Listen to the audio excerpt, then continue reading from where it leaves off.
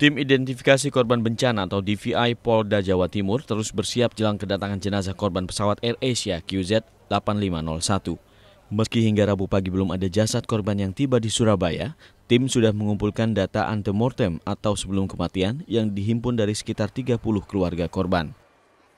Disaster Victim Investigation atau DVI adalah prosedur standar yang dikembangkan Interpol atau International Criminal Police Organization untuk mengidentifikasi korban jiwa dalam bencana massal. Lewat prosedur ini, petugas akan mencocokkan data sebelum dengan sesudah kematian. Hal ini untuk mengidentifikasi korban kecelakaan yang umumnya sudah sulit dikenali. Indikator kesuksesan proses disaster victim investigation bukan didasarkan pada cepat atau tidaknya proses berlangsung, tapi lebih pada akurasi atau ketepatan identifikasi. Namun di Indonesia, proses ini terkadang terkendala masih buruknya sistem pencatatan data penduduk. Data antemortem yang dibutuhkan seperti sidik jari, rekam medis pemeriksaan gigi, dan lain sebagainya sering kali tidak tersedia.